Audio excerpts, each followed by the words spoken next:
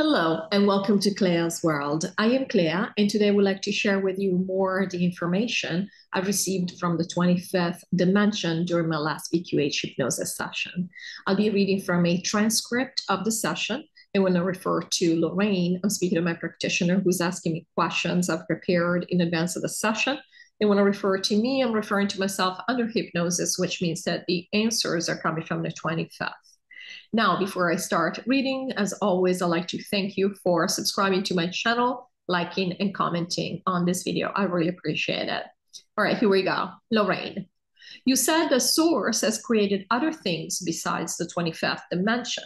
But if we are one with source, then we are one with everything that source has created. So how come we don't feel, you said we don't even know what our source has created, every other being in reality the source has created, like angels and other entities we don't even know about. And aren't we affecting them and then affecting us with our energy and experiences? Me. Yes, so we are all one. And what that means is that we are source. And so, therefore, yes, we feel everything. And therefore, we know everything that's going on. When we say that, when we have said that we, for example, in the 25th, we don't even know what other things source has created, it's not because there is a separation between us and the other things. Is that it's because we're focused on ourselves and the matrix. And again, we are implying separation, of course, when we say in the 25th, we are focused on this. Of course, we have said, depending on what perspective you use to look at things, you are aware of different things. So, again, at the level of energy, we are all one. So, of course, there is no separation between anything, okay? So, not only between us and source, but also between us and everything else that exists outside of our conscious knowledge at the same time. As the 25th now we are focusing consciously focusing on us. We are focused on our own existence. And specifically we're focused on the fact that we are playing these games. So we are not aware of a lot of other stuff or we are not consciously aware or focused on a lot of the other stuff that's happening. But of course you know with that we are one. We are made of the same energy. Energy is indivisible. So we're already said for example the reason we are aware of angels is because there are angels within the matrix that come to play with us, even though they play differently from us, but they play with us. And if we wanted to be aware of other things, we could be. There is no picket fence that separates us in that way. So, yes, we could be. And now, do we affect the all? So we are all affected? Yes, of course. But now we are saying, you know, what was implied in the question is, oh, all these things we are doing now, are they affecting everything? Of course, they're affecting everything because it's like saying your right arm is doing something. Of course, it's affecting the rest of your body. But I can flap my right hand and my left leg is not moving. Do you see? So, what perspective are you using when you say we're affecting everything? Yeah, we are all one. My right hand and my left leg are one part of the whole, but my right hand can be very separate, can be very independent on my left leg as well. The only time that they would be completely affected is say that there was a problem, you know, at the whole level. Something to say that something is going wrong and all of a sudden it's affecting my entire body. So, yes, we can, we do. Of course, we all feel each other. So, if they wanted to focus on feeling that part of the energy that's changing because of what we're doing now, yes, this is available and able to be felt. It is happening. But I mean, we're not affecting others as in their vibration is changing because of what we're doing. It's almost like, again, every different area is acting independently in that sense. But again, we are all one. So we do feel each other. We do affect each other at a very basic level. Lorrayne, thank you. Do animals also have a team of the light and dark, considering that they have no veil? How come so many more essences want to incarnate as animals versus humans? Is this an agreement between essences to maintain a certain balance and type of reality on planets? Me. Yeah, so we'll start from the second part of the question. We already briefly alluded to this earlier. And yes, there are many more animals than humans, and they have a lot of NPCs as well. But basically, in general, yes, there are more essences that want to come within the matrix and want to basically have no veil. And therefore, they incarnate and want to play as the animals, as nature, and so on. Now, does the team that incarnates as animals, do they have a team of the light and a team of the dark?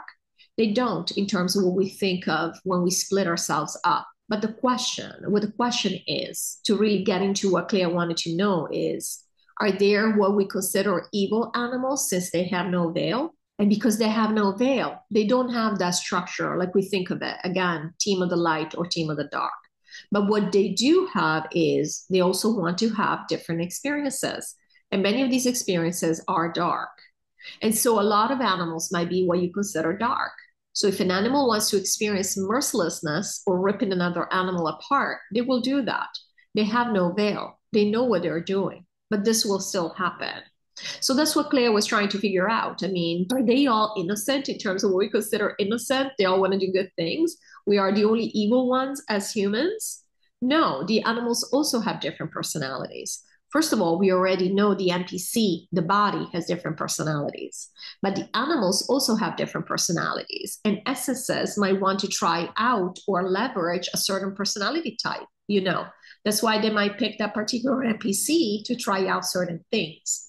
So, yeah, I mean, these battles between animals happen all the time. And not because there is a good guy and a bad guy, but because they also have they want to play the game is what it is. So they also want these experiences of being aggressive or being a victim or whatever. Basically the same games that we play. The difference is that they know they're playing a game whereas we take everything you know we're always pretending and no it's not us. This is how it is. I'm really good. I'm really really good. And you mm, not so much. You're a little bit shifty. And they were laughing here. You know that kind of game Lorrayne, thank you. Okay. We like to believe that when we have a particular affinity for a foreign country, it's because we have spent a past lifetime there. But we know there are no past lifetimes in that sense. So, where does this affinity come from? For example, why does Clea love Thailand so much? Me. Yes. So again, yes, there are no past lives. And these affinities, what we consider affinities, is really the energy, whatever energy is more prominent. And again, it sounds like it's coming from the outside, but it's never coming from the outside. You know, it's the essences that create the energy and bring the energy. And so, yeah, whatever energy you may be attracted, basically, this is what you're attracted to is the energy, the way that the vibration and so we like to think it's because, oh, clearly I had a past life here. So I recognize these things. Like, for example, Clea is obsessed with Japan and, and they were laughing here. We were about to say and she might think that she's had previous lives there. And we're actually telling her she's had a few lifetimes in Japan. But it's not about you recognizing things, but it's you being comfortable with certain types of things, of certain vibrations. We call that culture. We think it's because the way that things show up, but it's also things that appeal to us but it's mostly about the energy because we already said every country has a different path, a different energy that they want to experience, different things that they want to experience. And so, yeah, that's what it is. It's not because necessarily you have had lifetimes there or whatever. There are even children that are born speaking a foreign language that they have no business knowing. And again, we already said you can pick anything out of the ether and bring it in. So, of course, the explanation we give here is that they had a previous life in that other place. And that might have been the case. Doesn't have to be the case though. But then all of a sudden you grow up thinking, oh, because I speak this language, I must have had a previous life in that place. So I'm going to move to that place. You see, what are you actually doing? What you're actually doing is that you're attracted to this energy. You are aligning with this energy and you wanted to move there. So this is an easy way. It's just a fun way to set up for yourself. Because what do we do here? It doesn't break the game. We just think, oh, look, a curiosity, a little kid who's born already knowing the language of another country that is never heard. He's never heard this language. How does he know it? We allow this because we assume that it's okay within 3D without breaking the game. Kids are, it's very much an accepted concept almost everywhere on the planet that we reincarnate. So, of course, kids, they still haven't forgotten their previous life. So that's what it is we already know there is no previous life. There are no previous lives per se, the way we think of them. Of course, there are previous, we've had previous incarnations. But when we draw on them, we think I'm having a dream about a previous life or having the experience that I was a nun or a soldier in a previous life, whatever it is. But doesn't mean that you necessarily were. It just means that's the memory you need to have for you to be spurred to believe XYZ because that's what your higher self is trying to bring to you xyz and if your higher self has to bring it to you to where you think oh this is right i'm supposed to be with this woman because this is the woman that i loved you know in three of my past lives that's okay whatever the reason is that you need to whatever excuse you need to create for yourself so that you end up aligning what you need to do, that's okay. It doesn't really matter, right? It's preference. It can be anything. And so that's what we mean by its alignment at the end of the day. Now, you might have had experiences in that country. We're not saying, again, in Clea's case, she's had some lives there, but we have incarnated here so many times and we've kind of been all over the place. We've been everywhere pretty much, and we're laughing. So, really, all of us. So, should we be remembering all our past experiences everywhere? Should we be attached to every country basically?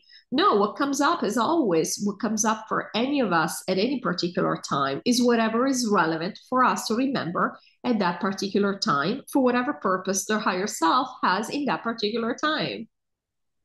Lorrayne, thank you.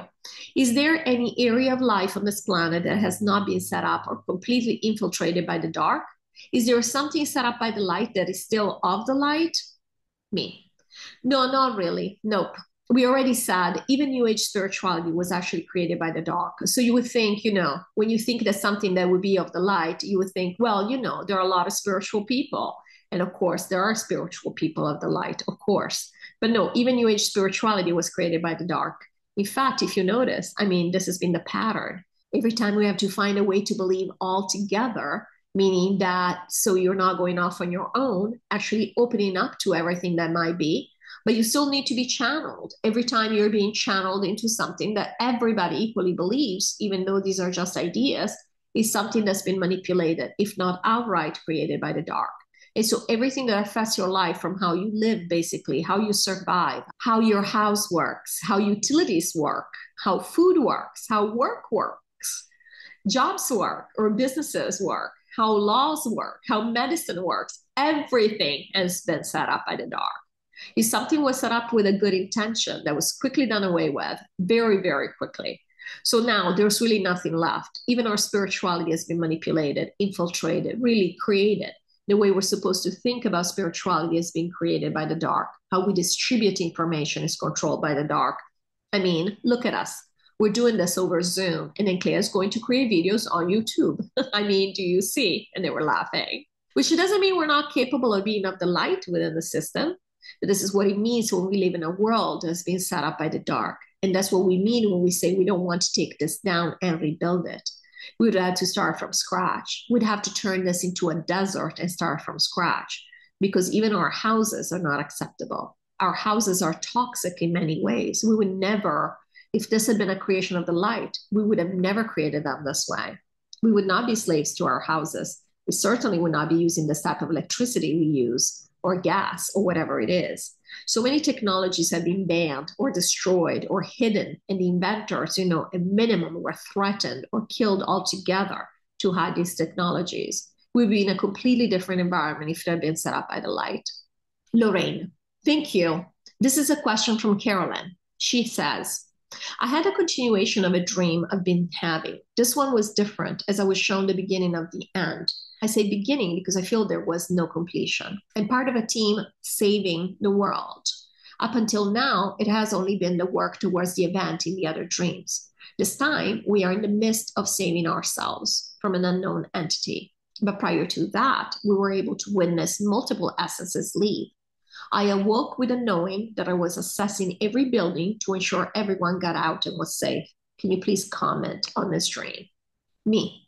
Yeah, so this dream shows Carolyn the takedown has happened, meaning not the takedown of the planet. Clearly, we're still here, but everything else has happened. Now, she, being one of the 12,000, she was very, her role was fundamental, obviously, in terms of this takedown.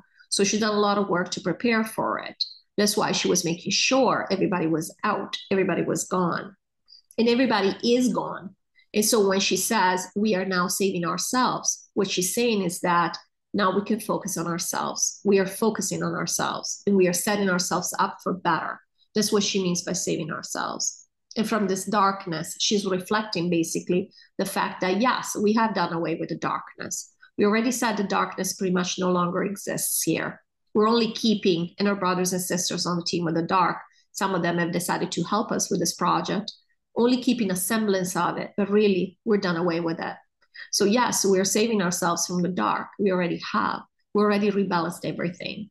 And so, yeah, she's been having these dreams where we've shown her where we were in the work that we're doing and the work we have been doing. We know this. We've been working on the takedown until a few months ago, and now we're working on rebalancing, saving ourselves, meaning that we are actually improving our experience here. We're actually having fun now with what we're doing. I know that doesn't quite match the reality the way we sense it at 3D level when we are awake, but that's what she's envisioning. That's what she's dreaming of what she's seeing is actually what's happening behind the scenes. The reason she's checking on everybody to be sure they're gone is because they are gone. And because she's one of the 12,000, she's going to be, and we knew this from the beginning, we said this from the beginning, we are going to be the last to leave. So she's still going house to house to say, okay, has everybody else left? Yes, they have left. This is why she's not finding people. So I hope you enjoyed this video. Thank you as always for watching and I will see you in the next video. Take care. Bye-bye.